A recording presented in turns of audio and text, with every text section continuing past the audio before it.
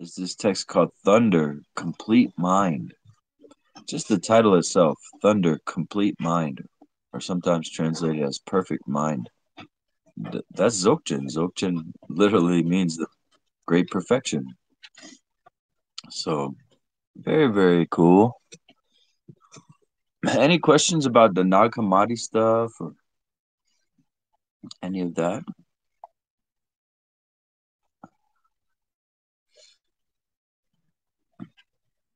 And remember, these are uh, one of these that actually both of those that I brought up yesterday um, are considered revelations. So right now we go on this revelation of John is very, very violent and vengeful and actually has name calling and all kinds of stuff. And it's questionable whether John even wrote that book, but it gets used on both sides from the Civil War all the way to around the, the time of Christ when the war in Jerusalem was going on. They thought it was the end of the world. And several times thereafter, during the Civil War, they thought that was the end of the world. Abraham Lincoln actually cited Book of Revelations. you know, so this book that probably wasn't even written by John. If it was, it was ri- written based on a vision that he had up in the mountains when he was very, very old. Um, like impossibly old, actually. Like must have been over 150 years old, according to scholars, for him to write that text. But so to me, the violent name calling da, da, da, is a little bit out of, and then the divisiveness. And the scholars suggest that the reason why this revelation became so popular was because there was a time where the Romans were destroying Jerusalem. And they thought God would come and save everybody. And, and this is the mentality. We see it everywhere. It's very, very popular. People think the world's going to end. In fact, every generation has a new reason why the world's going to end. I think now it's climate change or or these wars, and it does very much seem biblical, the stuff that's going on, but also kind of staged, in my opinion. you know, either way, um, there's always this apocalyptic undertone that in the West it's endorsed. And think about how that has you leading your life you're constantly in fear and you're constantly thinking the world is going to end so there's an indifference there. Uh, all kinds of reasons why this is a bad idea to and, and i encourage you all to look up all the people that predicted the end of the world. You got everybody in there from the popes to charlie manson to louis farrakhan to modern day churches that somehow are still going and people still follow them even though they got it wrong so this whole apocalyptic, the world's going to end thing to me is the greatest nonsense you could ever imagine. I think there's a reason why we're inclined towards it, maybe because we know we're going to die.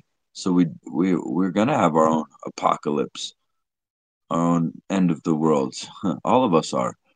And perhaps that's why we lean into this negative bias of uh, apocalyptic thinking. But to me, it's you can know that you're going to die. That's that's understanding impermanence. But the apocalyptic uh, thinking is more about your awakening, in my opinion. And the more I read the Gnostic texts, it really seems like that. That the world is going to end. Your delusional world. Yeah, you are going to die. Your ego is going to die. But what's left over is enlightenment, freedom so that's um, that's an apocalypse to me, right? So either way, uh, I did mention this last session that the book of John, uh, John's revelations weren't even supposed to be included according to five other lists. It was the Archbishop of Egypt that decided, at least according to Elaine Pagels, uh, scholar from Stanford, the uh, many of those books weren't even supposed to be included, or no, they were included based on the Archbishop of Egypt, who had a list of the 27 books to be included to make the Bible, but there were other lists. And now it's interesting enough, Elaine herself is, she sort of has a list, and it's much more egalitarian.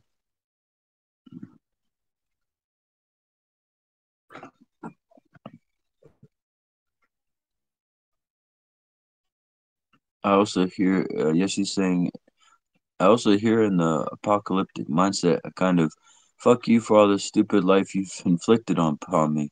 I've known people who want the end of the world. Well, they certainly want it. That's a good point.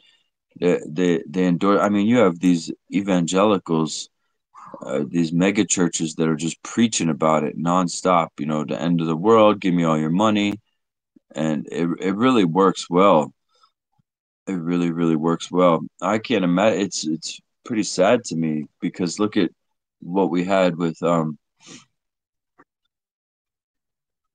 maybe i shouldn't even say his name the guy that you know they killed all the the people with the kool-aid right? And those were were just regular worshipers and practitioners that followed somebody thinking that the world was going to end so they drank all this Kool Aid.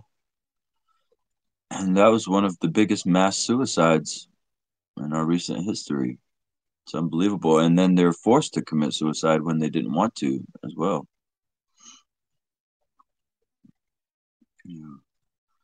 So this is where all this uh, magical thinking and uh, religious extremism gets us. And here, for sure, I I promote freedom of your own mind.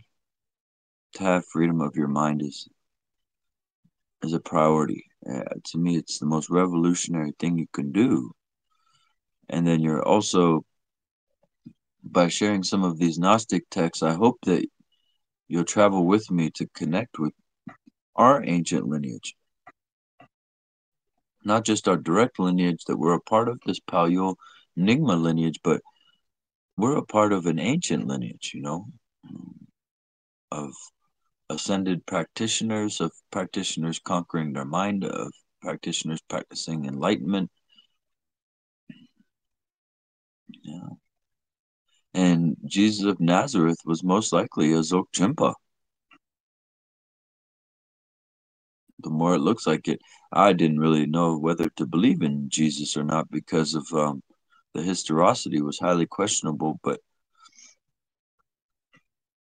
when I did my research, uh, it certainly appears that he was a yogi. And these so called Gnostic texts, they're touching on the same thing we are. And in my opinion, Hermes was his too. Hermetics were ours too.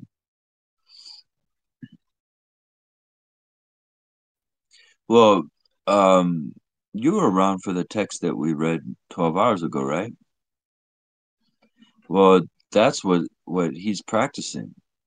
If you read the Gospel of Mary, the Gospel of Thomas, well, those were attributed to Jesus' followers, and there are some there are some passages that are are attributed to him. Yeah, that's what's so amazing, right? They're most likely written around the time of Jesus.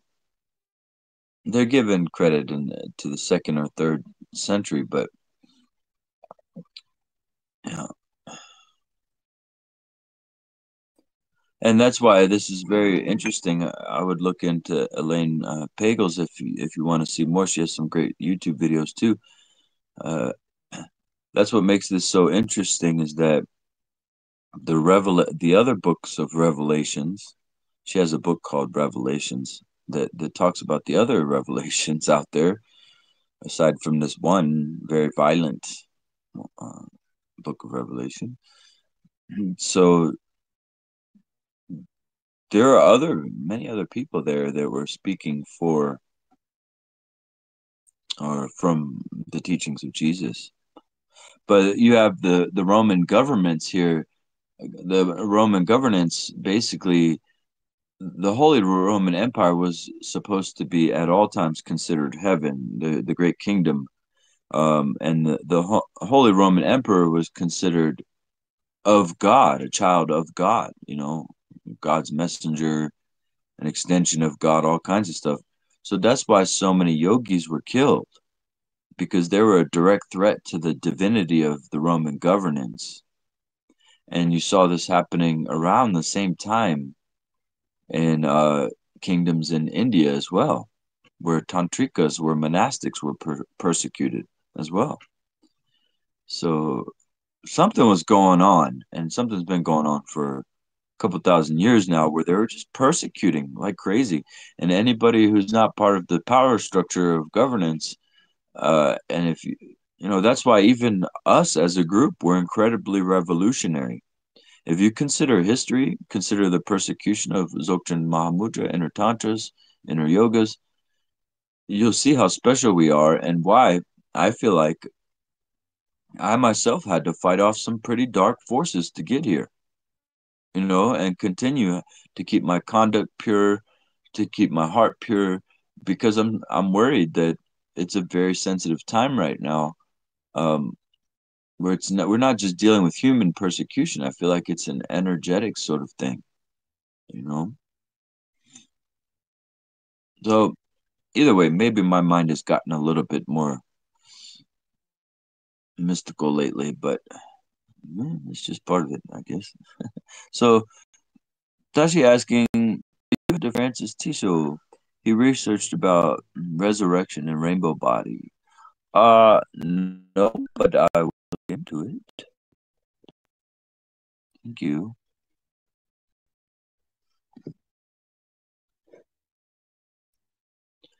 Uh, the thing is, there. I just keep. I know there's a lot of people doing this to, being very silly about it, but there really are. There's really a, a common truth out there, a sacred, almost extraterrestrial, out of this world of truth. And when I hear meditation instructions and describing practices from Gnostic texts 2,000 years ago, okay. right, so anybody want to say anything else before we read a little bit of this text? I wanted to share it with the morning crew. Some of you had it. Yeah, I don't know what I'm saying, and there's this there's this overlay also. For example, if you ever look into the White Brotherhoods or the, Universe White Brotherhoods, um, we're talking about a organization here. We're talking about these uh, religions of light. There is an amalgamation called the Luminous religion along the Silk Road, where they actually have Jesus in full lotus again, if you're into history, religious history, look up luminosity. Yes, you can drop the link there, or the luminous religion. I forgot title, but basically they combined. I mean, I don't even know if that's the way it was because this is the old religion.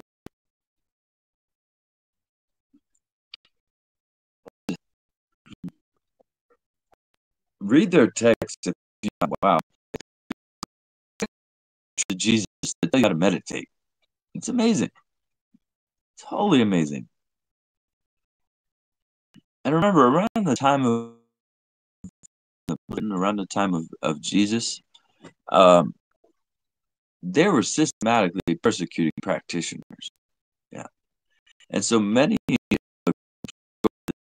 go out into the mountains and practice safely that way, or try to practice safely. safe. Scenes and yeah. So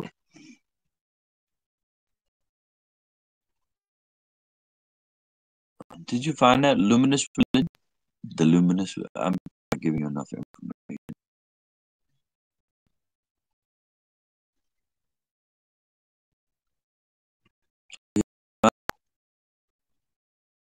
Yeah. Oh, do you have a uh sharing? Please, if you, if you, let me uh monopolize. What is she still?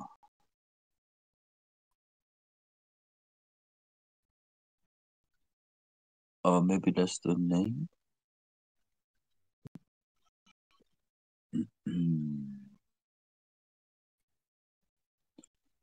oh yeah.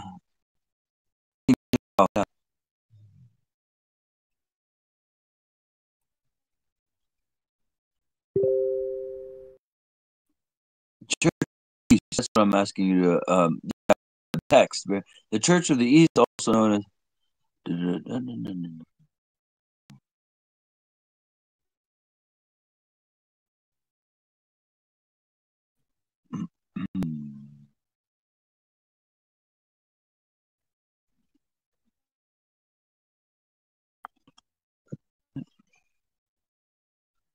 Sorry, I'm just uh, looking at this real quick here.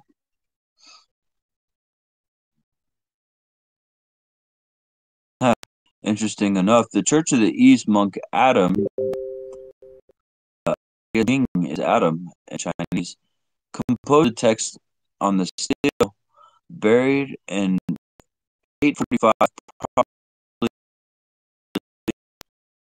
and we wouldn't even have Nag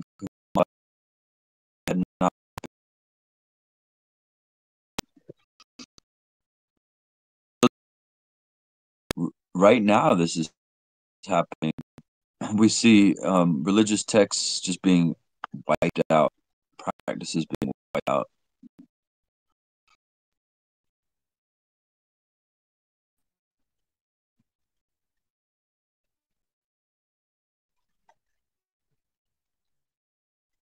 Yeah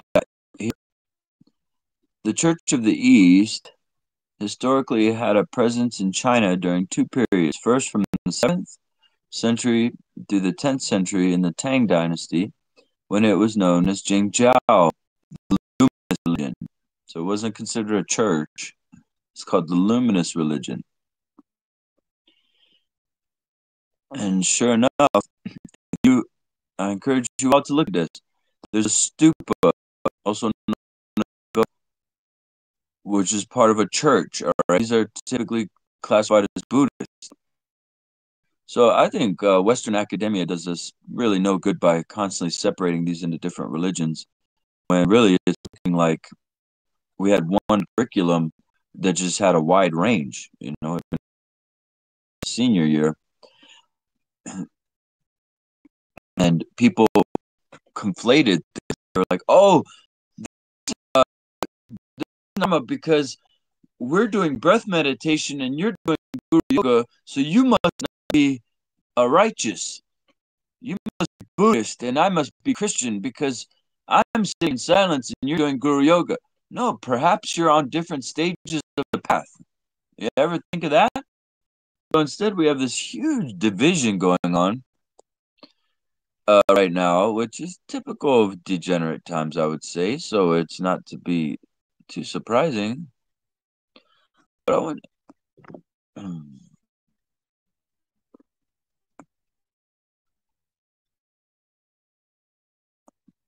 And why are we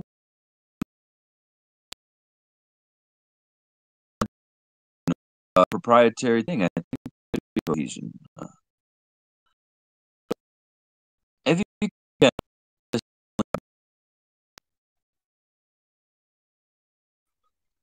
that's Jesus Christ sitting in meditating.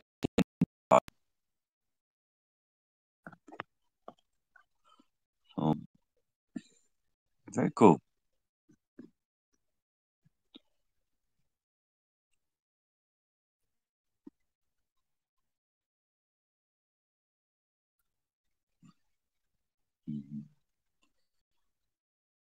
Yeah. The luminous religion of Daqin, Daqin being the Chinese language term for the Roman Empire in the first and second centuries. it's amazing how things tie together. Well, considering we're at the top of the hour, yeah, look at that. Well, it's Jesus according to them. That was their statue. They also have stupas on that same page and many other illustrations if you're not convinced. Yeah, interestingly enough, he's sitting on top of the cross, not hanging from it.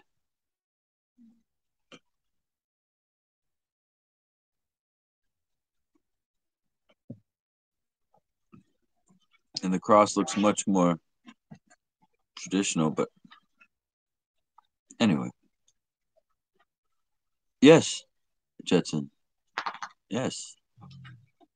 I mean, all the the naming these religions and, and trying to divide them into different religions, I don't know if that's useful. For me, it's much more useful that these are just names for the same sort of approach, the same curriculum, you know. But the curriculum is so large that it's difficult to, to draw correlations. Right. Right, Tashi. Yeah.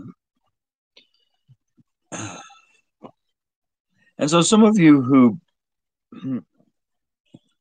who may have some post-traumatic stress from Christianity or I, I think this is a great chance for us to to make some yeah. But th- this is a, a chance for us to make some peace here. Yeah or islam right? And through drawing some correlations and, and tying things together from way back in the day, then I think you can create some peace with your path too. So anyway, maybe we could read a little tiny bit. We have a, I think uh, we're going to close up in about 10 minutes, but uh, Yeshe, would you mind terribly uh, reading from the trimorphic Protennoia? All right and I know we went into it uh, a little bit, so maybe find a good place where it was. I get very excited. You guys will see me get excited when it, we're talking history. I love history. Sledge.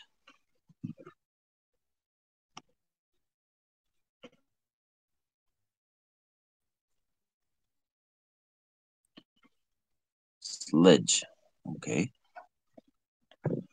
Okay, Yeshe gonna read now.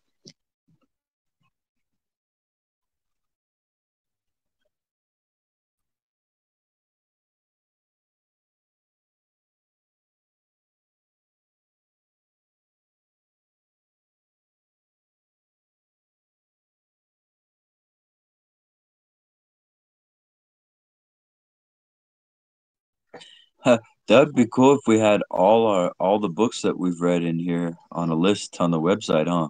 Should talk to Em about that.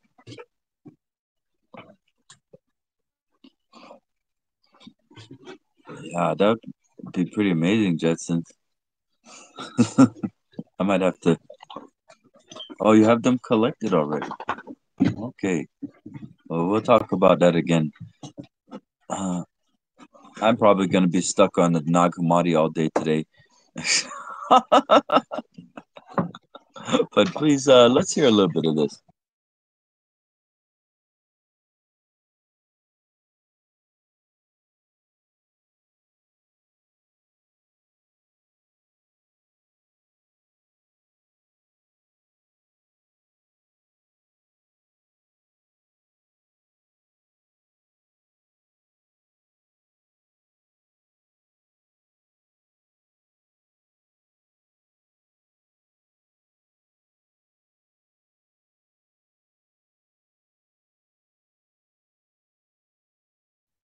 And something to keep in mind is that the Nag Hammadi is just a collection of texts, okay? Uh, so they, they're not grouped together based on anything except for the fact that at the time people were being told to burn all books. And so instead of burning them, they put them in a jar. They were discovered on a very rough uh, cliffside. The farmer, I believe, if I remember correctly, had used some of the texts for tea to make tea. Um, so some of them were fragmented, and then also, yeah, well, he was a very poor farmer. I forget his name now, the one who discovered, but um, the location uh, I'm pretty sure was called Nag Hammadi. It's named after the location where it was found. And then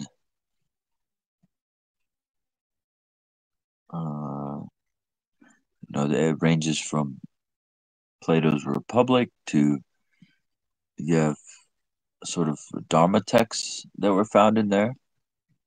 But all Dharma texts were, were being incinerated as well at the time.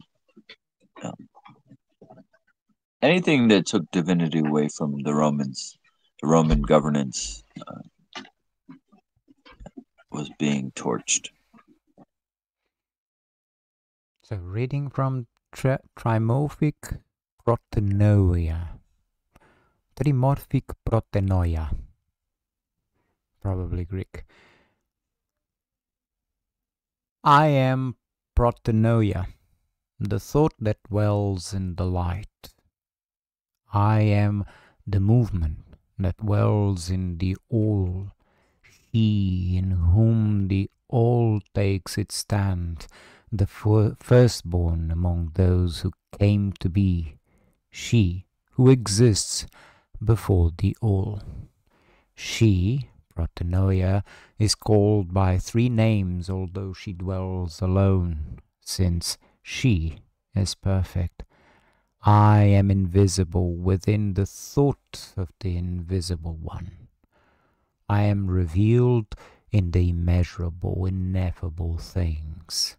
I am incomprehensible, dwelling in the incomprehensible. I move in every creature. I am the life of my epinoia that dwells within every power and every eternal movement, and in invisible lights, and within the archons, and angels, and demons, and every soul dwelling in Tartarus, and in every material soul. I dwell in those who came to be. I move in everyone, and I delve into them all. I walk uprightly, and those who sleep I awaken, and I am the sight of those who dwell in sleep. I am the invisible one within the all. It is I who counsel those who are hidden, since I know the all that exists in it. I am numberless beyond everyone. I am immeasurable ineffable, yet whenever I wish I shall reveal myself of my own accord. I am the head of the all. I exist before the all, and I am the all, since I exist in everyone. I am a voice speaking softly. I exist from the first, I dwell within the silence that surrounds every one of them. And it is the hidden voice that dwells within me, within the incomprehensible, immeasurable thought, within the immeasurable silence. I descended to the midst of the underworld, and I shone upon the darkness. It is I who poured forth the water. It is I who am hidden within radiant waters. I am the one who gradually put forth the all by my thought. It is I who am laden with the voice. It is through me that gnosis comes forth. I dwell in the ineffable and unknowable ones. I am perception and knowledge, uttering a voice by means of thought. I am the real voice. I cry out in everyone, and they recognize it, the voice, since a seed indwells them.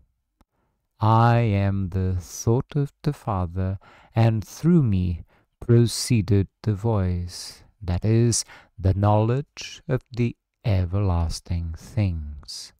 I exist as thought for the all, being joined to the unknowable and incomprehensible thought.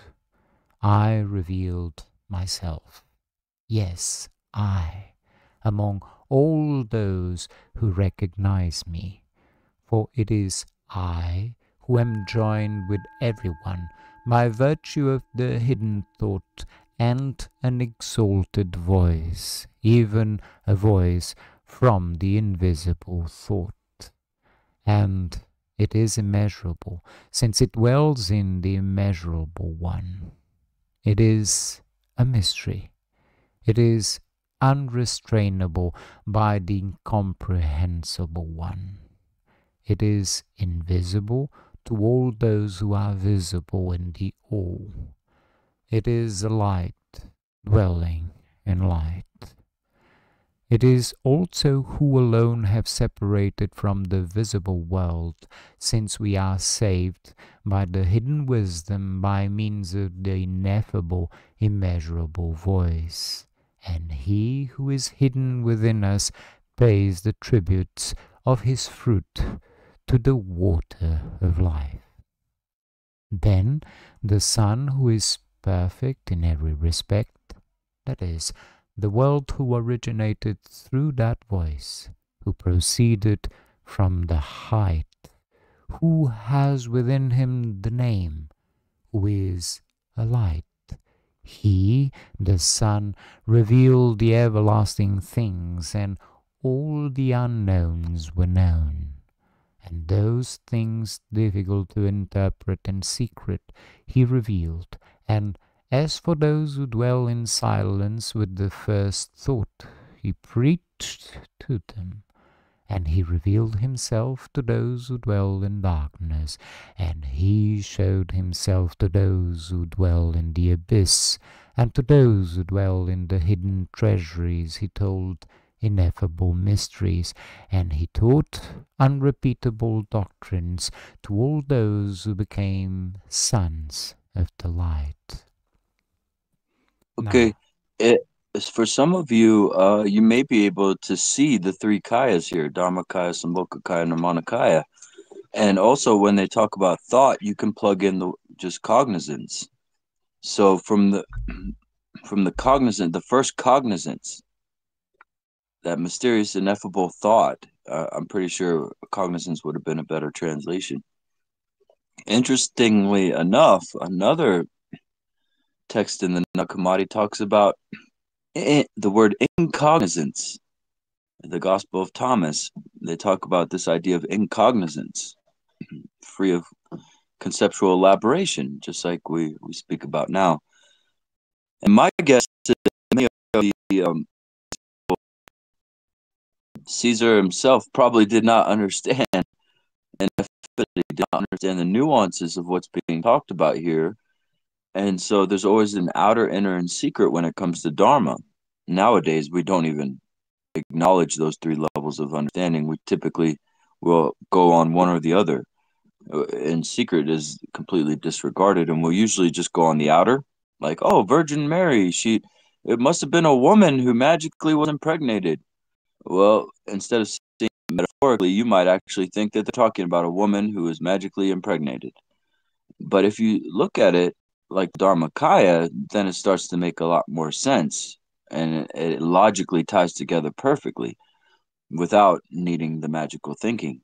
So, if you can tie in the three um, kayas into this and, and, empty cognizance, I encourage you to do it because it's, t- it's one thing right now. And please, if you feel like challenging it, uh, debating it, I am totally open to that but um, don't force yourself, okay? So let's hear a little bit more. Now, the voice that originated from my thought exists as three permanences the Father, the Mother, the Son. Existing perceptibly as speech, it, voice, has within it a word endowed with every glory, and it has three masculinities, three powers, and three names. They exist in the manner of three, which are quadrangles, secretly within a silence of the ineffable one. It is He alone who came to be, that is, the Christ. And as for me, I anointed him as the glory of the invisible Spirit with goodness. Now, the three I established alone in eternal glory over the eons in the living water.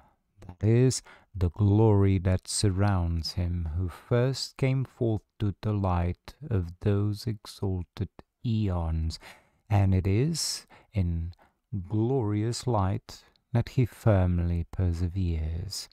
And he stood in his own light that surrounds him, that is, the eye of the light that gloriously shines on me. He perpetuated the Father of all the eons. Who am I? The thought of the Father, Protennoia, that is, Barbelo, the perfect glory and the immeasurable, invisible one who is hidden. I am the image of the invisible Spirit, and it is through me that the all took shape, and I am the mother as well as the light, which she appointed as virgin, she who is called Meirothea, the incomprehensible womb, the unrestrainable and immeasurable voice. Then the perfect Son revealed himself to his eons who originated through him, and he revealed them and glorified them, and gave them thrones, and stood in the glory which he glorified himself.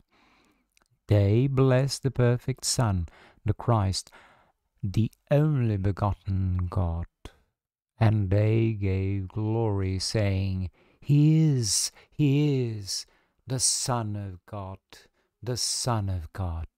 It is He who is, the eons of eons beholding the eons which He begot. For Thou hast begotten by Thine own desire. Therefore we glorify Thee. Ma mu o o o ea aeon a the eon of eons, the eon which he gave. Then, um, it, you know, I know it, it, might be tricky for some people to decode this, but we have the exact same thing in in our Palyul lineage, which is uh, very ancient and, and unbroken for thousands of years. Um, we have a e e u u ri ri li li e e u u um a ka ka ka ka nya ta.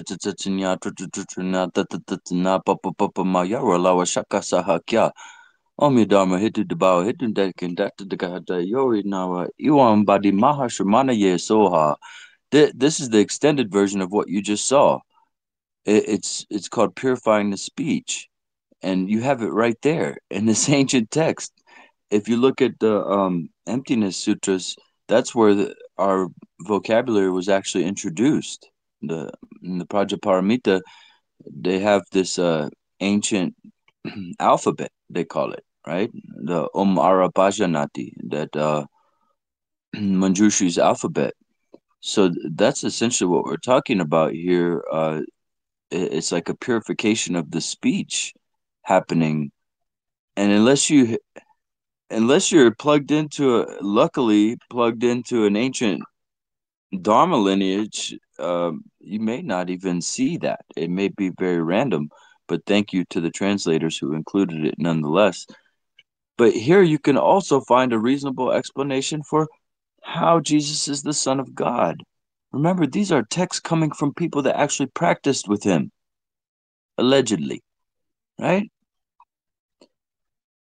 So that would be like uh, hearing from, I don't know, uh, you know, from Ananda, you know, or, or somebody that was close to Buddha Shakyamuni, just able to to hear what it was like, right? And, and people try to they try to tell us, oh, this is what Jesus meant, this is what Jesus said, you know, and really we have the Roman Empire defining religion for us. And to me, I, I invite you to use these types of texts to redefine it for yourself, you know. So how we feeling? Any comments, questions?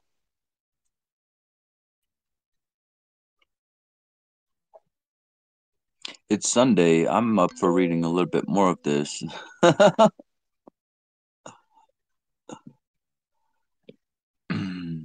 yes, you still feel like reading? Maybe a little bit more because this is very interesting to me and I hope it is to everybody else. Um, let me answer Dundrup's question. The Virgin Mary, remember how I talked about your mind was like a womb? Just like when you go to sleep, there's your cognizance has infinite potential in the sense of a womb, right? So that's the Virgin Mary. All of a sudden, your thoughts impregnate this womb, and you have a child, which is your dream. That's why when you're, if anybody's decoding this text as Yeshe reads it, whenever they talk about child, try to plug in reality. That's reality is the child of our mind. Uh, the father is our cognizance. The mom is the space, the basic space. Does that make sense, Dundrup?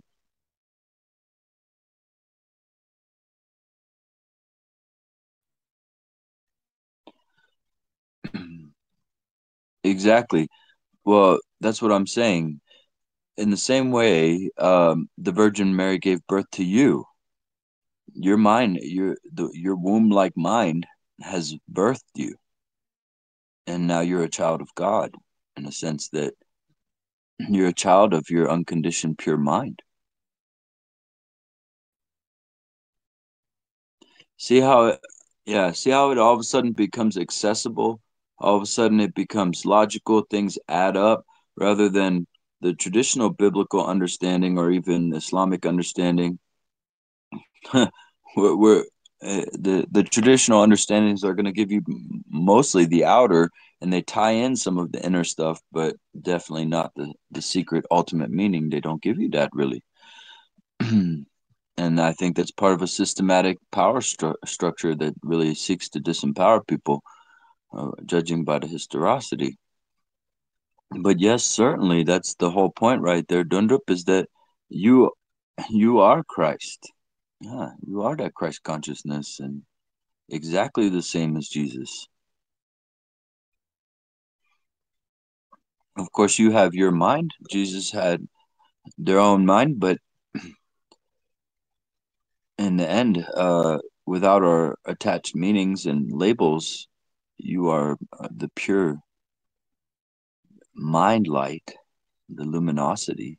You know, you're there's always three stages, just like a light bulb has three stages. A light bulb has the light bulb itself, which is the home for the light. That's the Dharmakaya, that's the Virgin Mary. then the electricity is the power, that's the cognizance. So, this power, this cognizance, which we're hearing about in this text right now, that power gives birth to light. It births light. So here we can think of the light bulb itself as the Dharmakaya, the electricity is the Sambhogakaya, and the luminosity is the Nirmanakaya. The luminosity, the light from the light bulb, is the display. Understand? Yeah, so just like that, we can think about it more scientifically or more, you know, appetizing to, to our modern minds. uh, we can think and start to see that through Dzogchen, we begin to really work with the light and the mind itself and and understanding how our mind creates dreams, understanding using modern science as well, uh, how our mind creates this reality.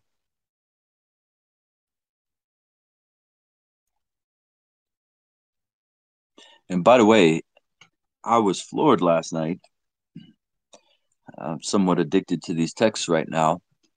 They actually mention the five colors in the Gospel of Thomas. They mention the five colors. so my guess is this entire curriculum has been around not just for Dharma practitioners, but was circulating to to a great extent.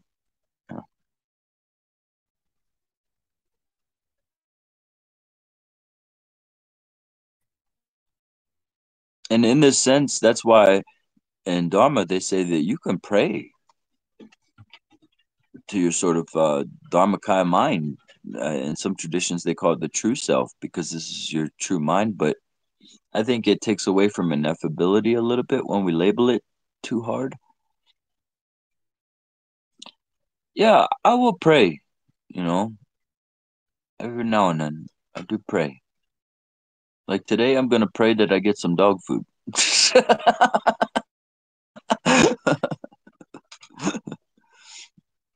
but I do pray sometimes, uh, you know.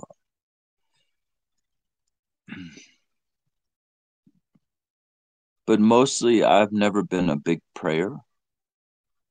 For some reason, it's just I'd rather align my heart with this, you know, ineffability, which can be called God. You know, it is like that. It's way larger, way more powerful than our thinking mind. So when we come into this nature of mind in Dzogchen, we're accessing something that can be very godlike. And I think when people talk about God, that's exactly what they're talking about. They're talking about your mind. And and people try to insinuate that there's another creator out there, but I have yet to see anything in this world that my mind did not create. I can witness my mind creating. So why would I attribute, especially the bad things, the so-called suffering, why would I attribute any of that to an external God when I can see how my mind's making it?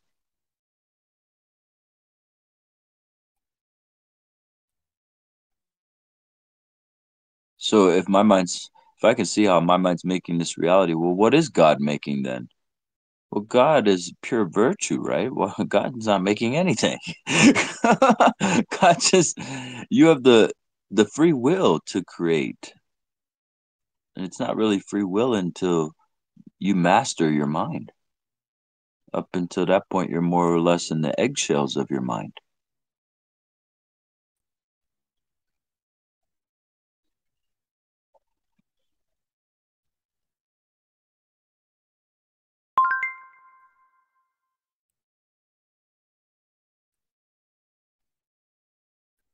Any other uh, comments, questions?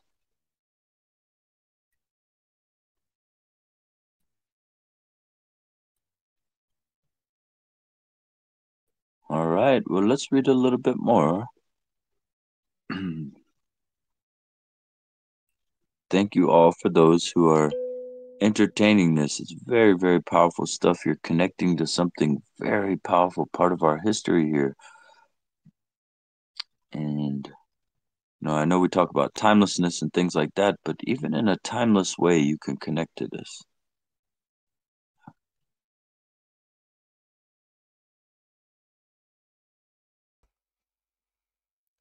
Then, moreover, the God who has begotten gave them the eons, a power of life on which they might rely, and he established them.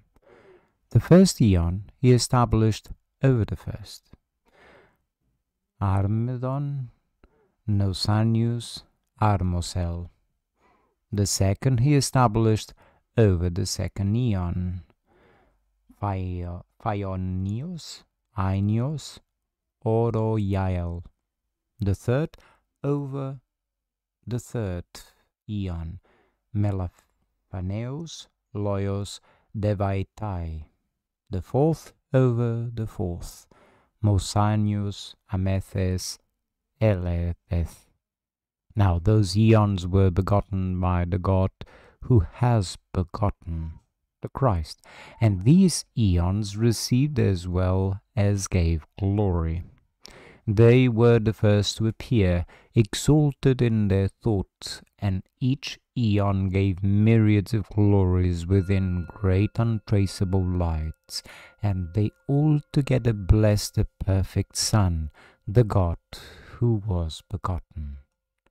Then there came forth a word from the great light, Eleleth, and said, I am King who belongs to chaos and who belongs to the underworld.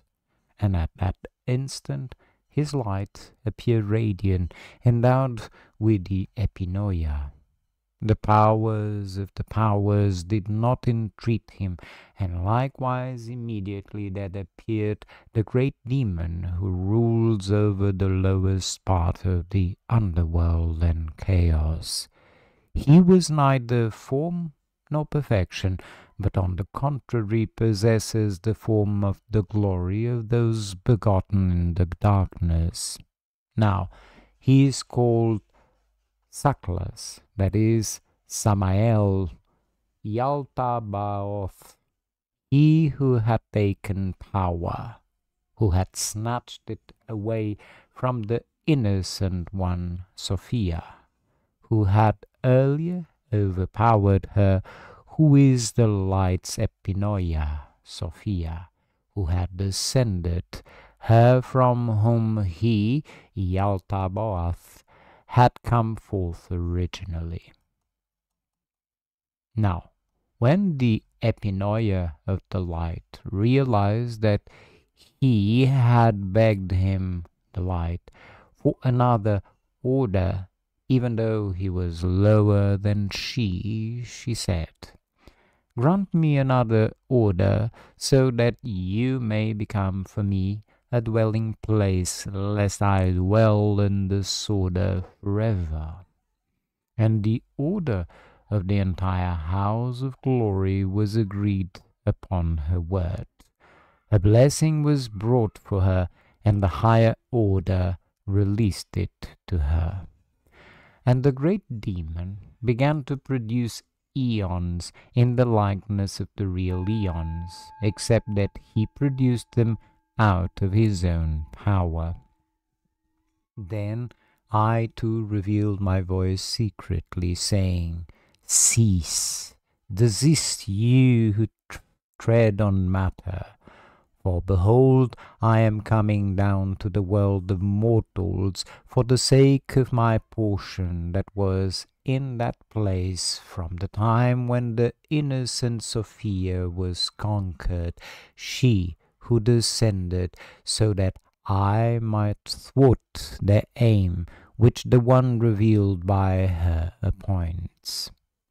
And all were disturbed each one who dwells in the house of the ignorant light, and the abyss trembled.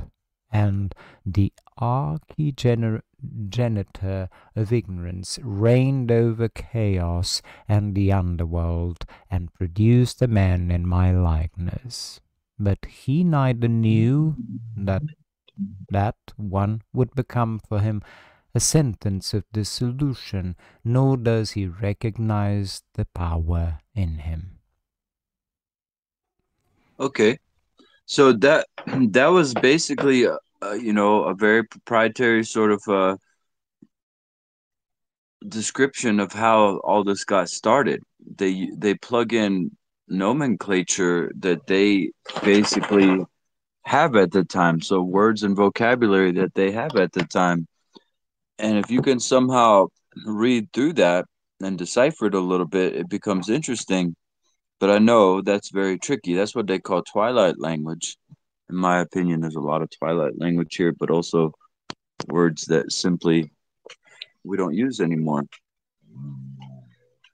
but it's always it's always the same ignorance gives birth to this sort of world you know of uh, confusion and it's the mind itself that that gives this birth so. Very interesting in that regard. Uh, i know it can get a little heavy on the terminology and i want things to always be accessible in here so please anything that you're interested in go read on your own and and get into it. It can be very cool